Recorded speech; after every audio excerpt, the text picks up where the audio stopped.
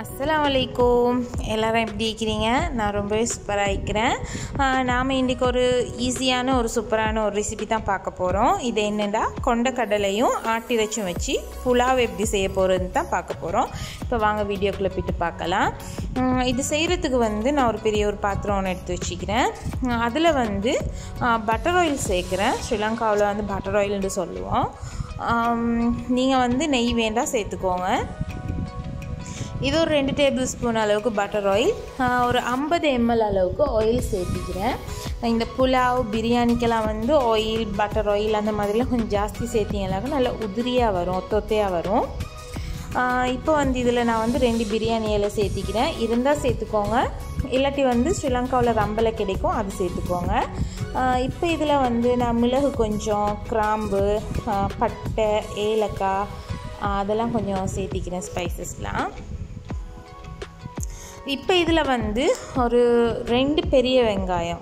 அதை வந்து கொஞ்சம் மெல்லிசாகவும் நீட்ட நீட்டமாகவும் கட் பண்ணி வச்சுக்கிறேன். இந்த வெங்காயம் வந்து நல்லா வதங்கட்டும். அடுப்பை வந்து நல்லா ஹையில் வச்சு குக் பண்ணிக்கோங்க. கொஞ்சம் இந்த வெங்காயம் வதங்குறதுக்காக வேண்டி நான் கொஞ்சமாக உப்பு சேர்த்திக்கிறேன். அப்போ கொஞ்சம் குயிக்காக வதங்கிடும். இப்போ இது வந்து நல்லா வதங்கட்டும். அதுக்கப்புறமா என்னென்ன சேர்க்கணும் அப்படின்ட்டு நான் உங்களுக்கு சொல்கிறேன் இப்போ பாருங்கள் ஓரளவுக்கு வெங்காயம் நல்லா வதங்கிட்டுது. இன்னும் கொஞ்சம் கலர் வரட்டும். இப்போ பாருங்கள் ஃப்ரெண்ட்ஸ் நல்லா கலர் வந்துட்டுது. இப்போ இதில் நான் வந்து ஒன்றரை கிலோ அளவுக்கு வந்து மட்டன் எடுத்து வச்சுக்கிறேன். மட்டன் வந்து நான் சின்ன சின்ன பீஸாக கட் பண்ணிடல நல்ல பெரிய பெரிய பீஸாக கட் பண்ணிக்கிறேன். புலாவுக்கு அப்போ தான் நல்லா இருக்கும். போனாவும் எடுத்துக்கிறேன் போன்லெஸ் அதாவும் எடுத்துக்கிறேன். இப்போ இதில் வந்து எல்லாத்தையும் சேர்த்துக்கலாம். ஒன்றரை கிலோ எடுத்து வச்சுக்கிறேன். ஒன்றரை கிலோ அரிசிக்கு ஒன்றரை கிலோ மட்டன். இப்போ இதை வந்து நாம் இந்த ஆயிலோட நல்லா ஃப்ரை பண்ணிவிடுவோம் நல்லா கொஞ்சம் ஃப்ரை பண்ணுறேன்டா இந்த ஆயிலோட கொஞ்சம் நல்லா மிக்ஸ் பண்ணி கொஞ்சம் அதில் கலர் மட்டனோட கலர்லாம் கொஞ்சம் சேஞ்ச் ஆகும். இப்போ இதில் வந்து நாம் என்னென்ன சேர்க்க போகிறோம்டா மல்லி கொத்தமல்லி. அது கொஞ்சம் நான் சேர்க்குறேன். ரொம்ப இல்லை பிரியாணிக்கு மாதிரி ஜாஸ்தி சேர்க்குறது இல்லை. கொஞ்சம் கொஞ்சமாக எல்லாத்துலேயும். இதுக்கு வந்து மெயினாக புலாவுக்கு மிளகுத்தூள் தான் நான் ஃபுல் அண்ட் ஃபுல் சேர்க்குறேன். ஒன்றரை கிலோ இறைச்சிக்கு ஒரு ஒரு டேபிள் ஸ்பூன் அளவுக்கு நல்ல பெரிய டேபிள் ஸ்பூன் அளவுக்கு மிளகுத்தூள். கொஞ்சமாக கரம் மசாலா சேர்த்திக்கிறேன். இப்போ இதுக்கு வந்து தேவையான அளவு உப்பு. இந்த இறைச்சிக்கு தேவையான அளவு உப்பு. நான் வந்து ஒரு தக்காளி வந்து கொஞ்சம் சின்ன சின்ன பீஸாக கட் பண்ணி சேர்த்திக்கிறேன். பிரியாணிக்கு மாதிரி எல்லாமே நிறைய நிறைய சேர்க்குறது இல்லை கொஞ்சமாக இப்போ இதுக்கு வந்து ஒன்றரை கிலோ மட்டன் நம்ம சேர்த்திக்கிறதுனால ஒரு த்ரீ டேபிள் ஸ்பூன் அளவுக்கு இஞ்சி பூடு பேஸ்ட் அது சேர்த்துக்கலாம். கொஞ்சமாக மஞ்சள் தூள். மஞ்சள் தூளை வந்து நிறைய சேர்க்கக்கூடாது இப்போ இது எல்லாத்தையும் நல்லா இந்த ஆயிலோட நல்லா ஃப்ரை பண்ணிவிடுவோம் இதை வந்து நான் நல்லா மிக்ஸ் பண்ணிவிட்டு உங்களுக்கு காட்டுறேன் நீங்கள் பாருங்கள் இப்போ பாருங்கள் நான் எல்லாத்தையுமே நல்லா மிக்ஸ் பண்ணிட்டேன். இப்போ இதை நாம் கொஞ்சமாக அடுப்பை குறைச்சி வச்சுட்டு மூடி வச்சு கொஞ்சம் வேக வச்சு எடுத்துடுவோம். கொஞ்சம் வேகட்டும் அதுக்கப்புறம் நான் உங்களுக்கு காட்டுறேன். இப்போ பாருங்கள் எப்படி எண்ணெயெல்லாம் பிரிஞ்சு சூப்பராக வந்திக்குது. உப்பு வந்து பார்த்து சேர்த்துக்கோங்க. நம்ம போகிற ரைஸுக்கும் நாம் உப்பு சேர்க்கணும். இப்போ இதுக்கு வந்து தேவையான அளவு இந்த கொஞ்சம் இறைச்சி இன்னும் கொஞ்சம் வேகணும். அதுக்காக வேண்டி நான் கொஞ்சம் தண்ணி சேர்க்குறேன். தண்ணி வந்து நீங்கள் உங்களோட அளவுக்கு பார்த்து சேர்த்துக்கோங்க. இப்போ இது வந்து ஒரு அளவுக்கு நல்லா வேகட்டும் இந்த இறைச்சி. இப்போ நம்ம மூடி வச்சு கொஞ்சம் நேரம் குக் பண்ணிக்கொள்ளுவோம்.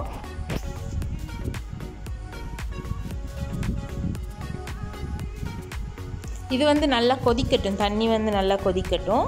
நான் வந்து கொண்டக்கடலை வந்து ஒரு ஒன்றரை கிலோ இறைச்சிக்கு ஒரு நூற்றி ஐம்பது கிராம் கொண்டக்கடலையை நைட்டே ஊற வச்சு அவிச்சு எடுத்து வச்சுக்கிறேன். ஒரு முக்காப்பத அளவுக்கு அவிச்சு எடுத்து வச்சுக்கிறேன். அதையும் இப்போ இதோடு சேர்த்து நல்லா இப்போ தண்ணி கொதிக்கட்டும். இப்போ இறைச்சி வந்து ஒரு அளவுக்கு வெந்துட்டுது. இப்போ இது வந்து நல்லா தண்ணி கொதித்து வரட்டும். அதுக்கப்புறமா அரிசி சேர்க்கலாம். இப்போ பாருங்கள் ஃப்ரெண்ட்ஸ் நல்லா தண்ணி கொதிச்சிட்டுது. நான் வந்து ஒன்றரை கிலோ ஆட்டிறைச்சிக்கு ஒன்றரை கிலோ ரைஸ் எடுத்து வச்சுக்கிறேன். ரைஸ் வந்து நீங்கள் எது எது நீங்கள் குக் பண்ணுறீங்களோ அந்த ரைஸ் எடுத்துக்கோங்க. நான் வந்து ஒன்றரை கிலோ ரைஸ் எடுத்து அதை ஒரு பதினஞ்சு நிமிஷம் வந்து நல்லா ஊற வச்சு எடுத்தேன். ரொம்பவே ஊற வைக்கையில். ஒரு பதினஞ்சு நிமிஷத்துலேருந்து ஒரு இருபது நிமிஷம் அளவுக்கு ஊற வச்சு எடுத்து இப்போ இதோட மிக்ஸ் பண்ணிக்கிறேன். நீங்கள் வந்து உப்பு தேவையான செக் பண்ணி பார்த்துக்கோங்க. செக் பண்ணி பார்த்துட்டு இதுக்கு தேவையாக இருந்தால் உப்பு நீங்கள் இன்னும் சேர்த்துக்கலாம். நான் வந்து உப்பெல்லாம் பார்த்துட்டேன். எல்லாம் சரியாக விட்டுது இப்போ இதை மூடி வச்சு குக் பண்ணுறது மட்டும்தான். இதுக்கு வந்து ரொம்ப வேலையெல்லாம் இல்லை. இப்போ இது தண்ணி ஓரளவுக்கு வத்தட்டும். இப்போ பாருங்கள் தண்ணி வந்து ஓரளவுக்கு வத்திட்டுது. இப்போ இதை நாம் அடுப்பை குறைச்சி வச்சு ஒரு இருபதுலேருந்து ஒரு இருபத்தஞ்சி நிமிஷம் நல்லா லோ ஃப்ளேமில் வச்சு குக் பண்ணி எடுக்க போகிறோம் இது லோ ஃப்ளேமில் வச்சு ஒரு இருபது இருபத்தஞ்சி நிமிஷத்துக்கு அப்புறம் நான் உங்களுக்கு காட்டுறேன். நீங்கள் பாருங்கள் ஒரு ஈஸியான புலாவ் ரெடி ஆகிட்டுது. இப்போ ஒரு இருபத்தஞ்சி நிமிஷத்துக்கு போகிறோம் சாரி கொஞ்ச நேரத்துக்கு போகிறோம் நான் ஓப்பன் பண்ணி பார்த்தேன். அடி என்னத்துக்குண்டா? இதில் வந்து கொஞ்சமாக மேலே மல்லி இலையும் கொஞ்சம் நான் வெங்காயத்தை வந்து பொறிச்சு எடுத்து வச்சுக்கிறேன். அப்போ அது நல்ல ஒரு வாசனையாக ஈக்கும். ஃபைனலாக சேர்க்கும் போது அதுக்காக வேண்டி நான் கொஞ்சம் மல்லி இலையும் பொறிச்சு வச்ச வெங்காயத்தையும் சேர்த்துட்டு இனி இருபதுலேருந்து இருபத்தஞ்சி நிமிஷம் மூடி வைக்க போகிறோம் ஒரு இருபத்தஞ்சி இருபதுல இருந்து ஒரு இருபத்தஞ்சி நிமிஷத்துக்கு போகிறோம் நான் உங்களுக்கு ஓப்பன் பண்ணி காட்டுறேன். நீங்களே பாருங்கள் அந்த புலாவ் வந்து எப்படி சூப்பராக ரெடி ஆகிக்குதுன்னு இப்போ வந்து நாம் இதை மூடி வச்சிடலாம்.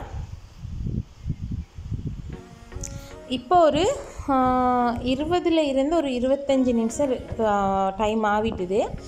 இப்போ நாம் அடுப்பை ஆஃப் பண்ணிவிட்டு இதை வந்து ஒரு கரண்டியை போட்டு ரொம்ப கிண்டக்கூடாது.